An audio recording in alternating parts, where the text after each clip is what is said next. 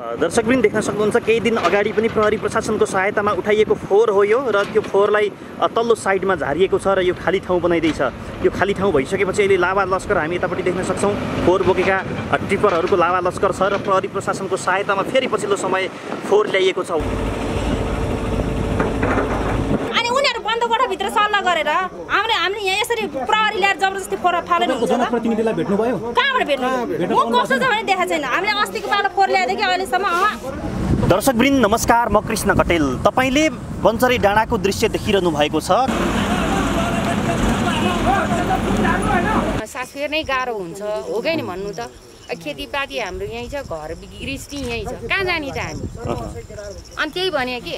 उहाँहरूले नि त राम्रो गर्नु पऱ्यो नि त विकास गर्ने राम्रो गर्ने गऱ्यो भने हामी के हामी नाइ भन्छौँ र। उहाँहरूको नि त्यत्रो खर्च भएको छ। यो सिस्डोल जस्तै होला फेरि होइन? यो अहिले जुन फोहोर बाहिरै फालिएको छ।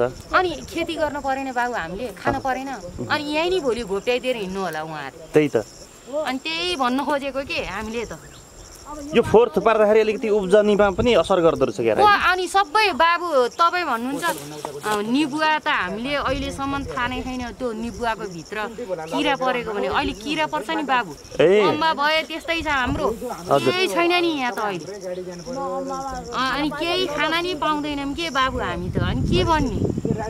अहिले त काठमाडौँमा यो बालेन शाह आएको छन् मेयर भन्ने छ उहाँले गर्नुहुन्छ भन्ने छ नि त। हजुरलाई केही त्यस्तो अब के थाहा त्यो त बाबु सबै जोगी आए जस्तै सबैले गर्छु भने त हजुर। अब उहाँले चाहिँ अलिक युवक भएर गर्नुहुन्छ कि? अब के भन्ने हामी एकजना महिला मात्रै गएर उफ्रिएर नि भएन। हजुर। कति भन्नु के भन्नु? अनि मलाई त त्यही भएर टाउको दुख्छ कि। अहिले अब त्यहाँ हेर्नुहोस् त अब हामीलाई केही पर्यो। आपत पर्यो बिरामी भइयो केही भइयो भने जान सकिन्छ त। बाटैमा खनाएर हिँडेपछि? तपाईँ आफै भन्नुहोस् त। अब हाम्रो हामी कहाँ जाने त ल भन्नु त। हाम्रो घर यहाँ छ। जग्गा जिमी यहाँ छ। खाना परिगयो। के गर्ने? के गर्दै हुन्थ्यो जस्तो लाग्छ यहाँ बाबु अब यो अब उहाँहरूले अब त्यो नराम्रो शब्द त अब हामीले पनि गर्न मिल्दैन। उहाँहरूले अब कस्तो भन्नुहुन्छ भने त्यसलाई राम्रोसँग लगेर त्यो सदुपयोग गरिदियोस्। त्यसले हामीलाई गन्ध नआओस्। र हामीलाई पनि केही गरिदियोस् के यहाँ। अनि हाम्रो खेती गरे नि आउँदैन। अब केही गर्दा नि आउँदैन। अब हामी त्यो गन्ध नि सुँग्नु छ। अब खेतीपाती नि गर्दा हुँदैन. के खाएर बाँच्ने त बाबु? हजुर। मिलाउनु पर्यो नि सरकारले। बुझ्नु पर्यो नि त्यो कुरा त। हजुर। अहिले काठमाडौँ कति गनाइरह होला त? त्यो पिँढी पिँढीमा छैन? हो त्यस्तै त हामीलाई भयो छैन यहाँ। बुझ्नु पर्यो नि उहाँहरूले। हजुर। नमस्कार म गोविन्द अविरल। बालेन शाह एउटा मेयर जस्तो पदमा अहिले बस्नु भएको छ होइन? स्थानीयहरूको चाहिँ कुरा के रहेछ भन्दाखेरिमा काम गर्नुहोस् तर तर योभन्दा अगाडि जे जस्तो एग्रिमेन्ट भयो नि त्यो एग्रिमेन्ट चाहिँ नतोड्नुहोस्। नतोड्नुहोस्। कुरो त्यो रहेछ। अब त्यही भित्र पनि यहाँनिर धेरै त्यो मान्छेलाई उचाल्ने पछार्ने यो एग्रिमेन्ट भएन। योभन्दा नि यो एग्रिमेन्ट चाहिँ पुरा हुनु पर्यो। यसलाई यसरी लगौँ भन्ने मान्छे पनि धेरै रहेछन् क्या। यहाँ चाहिँ तपाईँको के भन्दाखेरिमा काम गर्न खोज्न बालेन शाहले खोज्नु भएको हो होइन? उहाँले काम गर्ने आँट गर्नुभएको हो। म तपाईँले एउटा कुरा भन्छु क्या बालेन शाहको विजय त्यो दिन भयो होइन? जुन दिन उहाँले यो सिस्टमलाई पाइला टेक्नुभयो क्या? किनभने योभन्दा अगाडि कुनै यहाँनिर जनप्रतिनिधि यहाँनिर पाइला मात्र टेक्ने काम गरेको थियो भने त्यो जनप्रतिनिधिको चाहिँ यहाँनिर स्थानीय बासिन्दाहरूले हात खुट्टा नै भाँचिदिने रहेछन्। त्यति आक्रोशित भएर बसेका रहेछन् मान्छेहरू। अब यहाँ मान्छेहरूलाई उचाल्ने पनि यहाँनिर विभिन्न विभिन्न पदका मान्छेहरू देखियो। कुरा बुझे अनुसारले यो लगभग यो सबै दृश्यहरू हेरिरहँदाखेरि चाहिँ बालेन शाहलाई चुनौती धेरै देखिन्छ आगामी दिनहरूमा। तर चुनौती माथिको सफलता पनि त्यत्तिकै देखिन्छ क्या। किनभने अब बालेन शाहलाई नै यहाँको जनताहरूले चाहिँ सपोर्ट गरेर चाहिँ यो फोहोर व्यवस्थापन चाहिँ हुनुपर्छ। अब यहाँको जनताहरू चाहिँ धेरैभन्दा धेरै सजग हुनुहोस् तपाईँहरू। तपाईँहरू धेरैभन्दा धेरै सजग हुनुहोस्। तपाईँहरूको चित्त नबुझाइ के विषयमा हो सिधै तपाईँले यहाँनिर बालिन शाहसँग बसेर टेबल टक गर्नुहोस्। योभन्दा अगाडिका जनप्रतिनिधिहरू होइन उनीहरूले चाहिँ विभिन्न आश्वासन देखाएछन्। ल फोहोर व्यवस्थापन हुन्छ चिन्ता नलिनुहोस्। एक दुई महिना कुर्नुहोस् दुई तिन महिनामा तपाईँहरूको ठाउँबाट फोहोर चाहिँ व्यवस्थापन गर्ने जिम्मा हाम्रो हो भनेर चाहिँ गलत आश्वासन दिएर चाहिँ यहाँनिर स्थानीय बासिन्दाहरू चाहिँ आक्रोशित भएको चाहिँ मैले बुझेँ आज स्थानीय बासिन्दाहरूलाई उचाल्ने व्यक्ति पनि यहीँभित्र छन्। यहाँ विभिन्न दलीय व्यवस्थाका मान्छेहरूले चाहिँ स्थानीय बासिन्दाहरूलाई चाहिँ एउटा कुरो गरेर ल हुन्छ हुन्छ भनिदिने फेरि एकछिनपछि ल यो गर्नु हुँदैन भनेर यहीँबाट उक्साउने मान्छे पनि रहेछन्। अब अर्को तर्फबाट हेर्दाखेरि चाहिँ यहाँनिर स्थानीय बासिन्दाहरूको पनि बालेन शाहप्रति चाहिँ पोजिटिभिटी देखिया छ। उहाँहरूले पनि यहाँनिर बालेन शाहलाई चाहिँ ल तपाईँ काम गर्नुहोस् तर हाम्रो पनि केही मागहरू छ। हाम्रो पनि केही मागहरूलाई चाहिँ तपाईँहरूले पुरा गरिदिनुहोस्।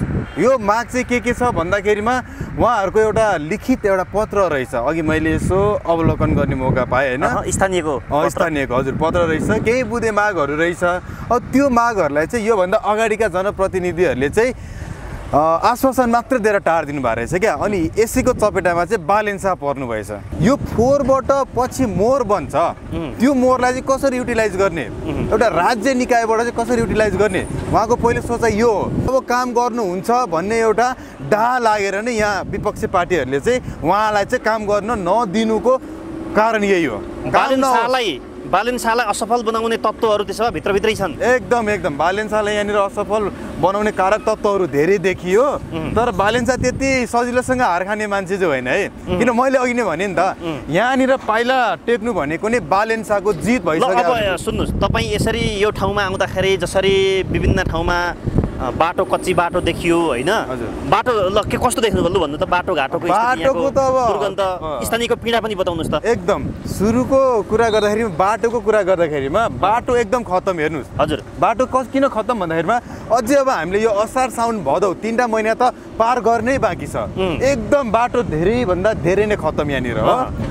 मलाई लाग्छ जनताहरूको मुख्य माग भनेको बाटोको पनि यहाँनिर माग छ क्या। बाटो पनि मर्मत हुनु पर्यो। मेरो नाम चाहिँ कुमार बस्नेत। यहाँ राज्य सत्ताबाट जुन सम्झौताहरू गरिएको थियो त्यो सम्झौता भनेको बालिन शाह जसरी अहिले अहिलेको चुनावमा चाहिँ मेयर पदमा चाहिँ जितेको लगभग लगभग आज पाँच दिन मात्रै भयो। तर पाँच दिनमा कायपलट हुन्छ भन्ने चाहिँ नेपाली जनताले नबुझे हुन्छ। तर कायपलट हुनको लागि उहाँलाई काम गर्ने दिने वातावरण बढाइदिनु पर्यो जनताहरूले पनि। बालेनजी काठमाडौँमा महानगरपालिकाभित्र बालेनजी जसरी आउनुभयो र उहाँको सदस्य के थियो भन्दाखेरि उहाँ भनेको एउटा इन्जिनियर पनि हो विज्ञ पनि हो उहाँले गरेको कार्यनीति भनेको चाहिँ नेपाली जनतामा स्वच्छ स्पष्ट र उहाँले पनि एक रुपियाँ एक पैसा भ्रष्टाचार गर्दिनँ भनेर उहाँलाई जनताको लागि एउटा प्रतिबद्धता जनाएर आउनुभएको छ। उहाँलाई राम्रो काम दिन काम गर्न दिनुहोस्। हजुर म नवराज घिमिरे अहिले पीडा छ मनमा? हजुर एकदम पीडा छ। जलन छ? जलन छ एउटा ठाउँ सफा गर्ने अर्को ठाउँ फोहोर गर्ने। यो कता यो हुने मनै पर्दैन हेर्नु। दीर्घकालीन भन्ने भने यो भाइरस हो फोहोर भने।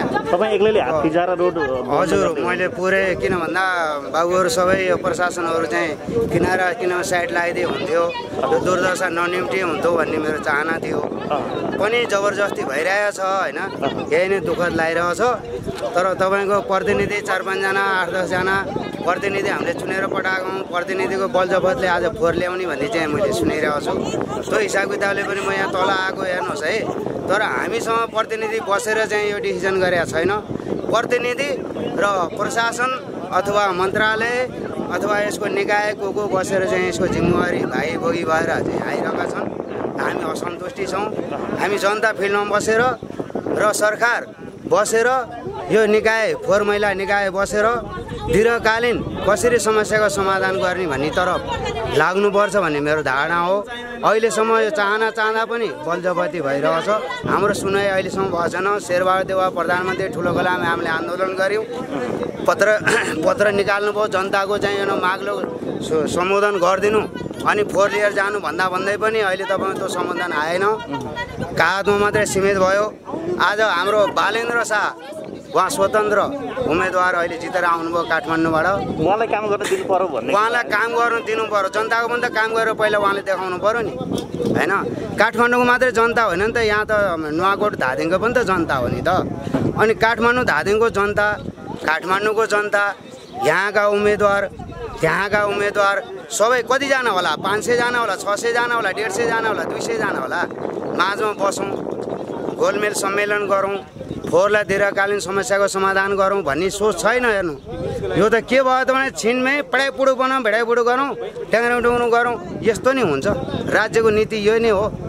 यो विश्वमा नभएको चाहिँ चरित्र अहिले हाम्रो देशमा भइरहेको छ। यही नै मलाई असन्तुष्टि छ।